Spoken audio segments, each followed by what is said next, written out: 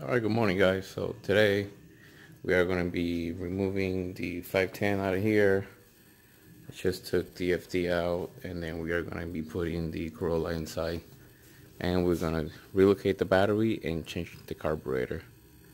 Because uh, carb right now, um, my buddy Bradley, he doesn't, it's kind of old, and it's missing a few bolts and and stuff like brackets and stuff like that. So um, it's running kind of kind of rich, kind of weird, and it's really hard to adjust.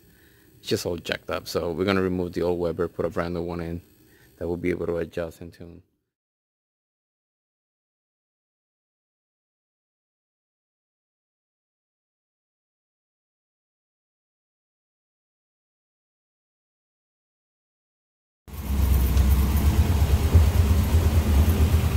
Alright, so here's the car. You guys hear it. Sounds pretty passive. Some of the things that I want to do, this hose, this fuel hose already cracking here. Uh, the filter, it's dirty. I mean, this can stay, but I would like to replace all the fuel hole. Um, the relay for the fuel pump, I would like to freaking uh, tighten up those wires, cover this up. Want to be checking the timing as well.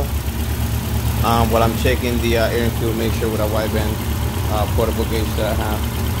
Um, I want to clean this this area out right here a little bit more. And yep. We're going with this battery. We're gonna put it in the trunk. Uh, remove all this. Uh, we'll see what we do with this crazy stuff.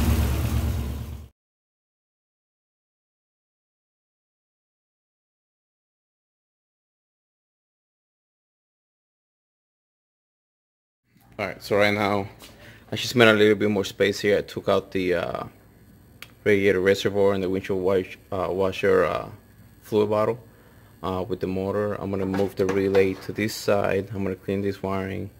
I'm about to go to the parts store and get the fuel filter for it. This is the new line that I already installed. Um, so since I'm messing with the fuel right now and all this wiring, so what I'm going to do, I'm going to do this first, put the filter on and start it up. Make sure there's no leaks, make sure everything's fine. After that, I'm going to take this out, then do the um, the Weber carb with the brand new one. I'll test that out once I'm done with that. Then I'll clean the wiring. I'll test that out once the car starts and everything's fine. Lastly, I'll do the battery re relocation kit. Uh, one thing I've learned from experience over the years is that you don't want to do everything at once and then test everything at once. Because if something goes wrong, you won't know what was that you touched that you didn't put back together right or something's probably bad from manufacturer so whenever you guys do more than one upgrade just do one at a time test it out and then go to the next one. That's just from experience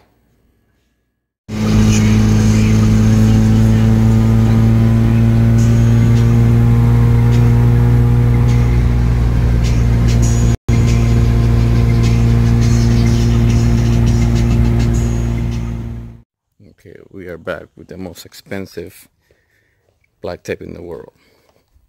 The Scotch 3M Super 33 Plus. This thing was like seven freaking dollars for a roll of black tape.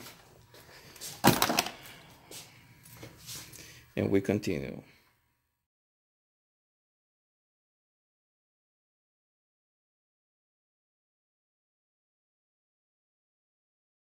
Okay, so right now I relocated the uh, relay right now right there and then um, new filter new lines and I want to fix all this. All this is going to be taped up and the wiring is going to be done but that's going to be after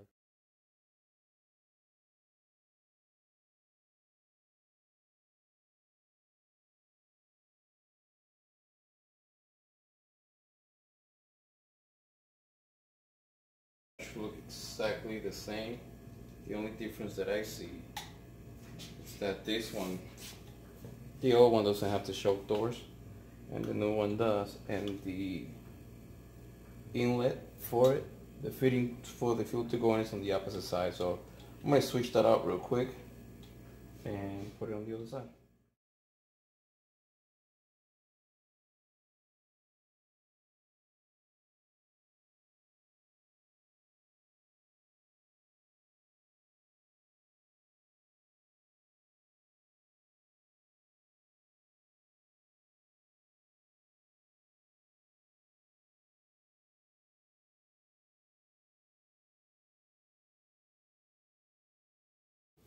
Alright, so we got the carburetor installed.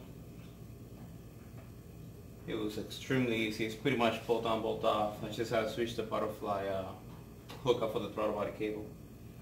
And hook up the vacuum line back again. So now, turn it back on. Make sure that there's no leaks and that I didn't do anything wrong.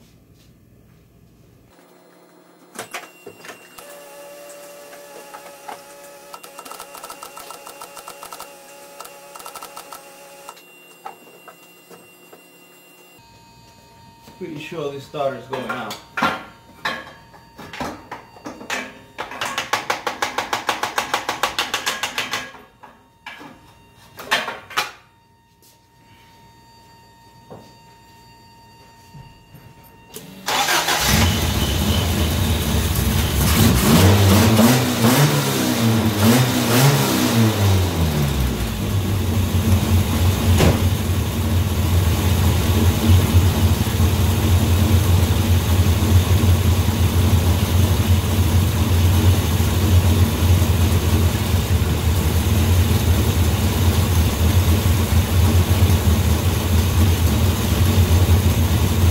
so far so good. So now what I'm gonna do, I'm gonna bring my uh, air fuel gauge, uh, hook it up and see if I can tune it.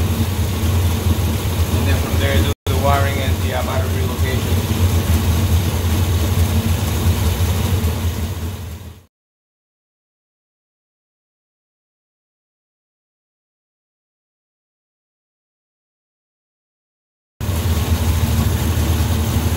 I don't know if you guys can see it, but I have another YouTube video that shows how I made this.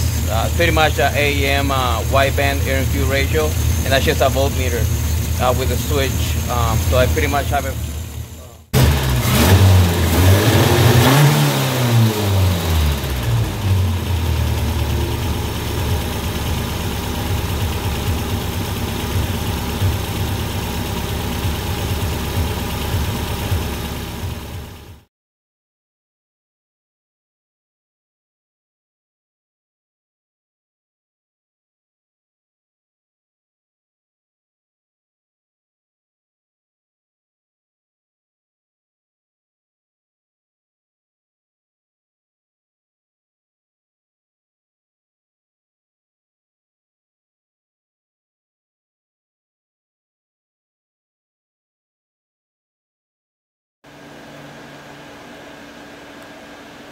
Alright, so remember what I said, do one thing at a time.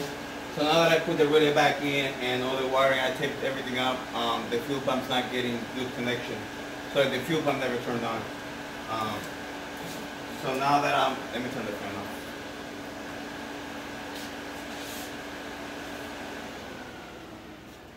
So I'm moving the wiring, I have a poor connection down here. You guys can hear it. So I need to see which connector is the one that's not working properly.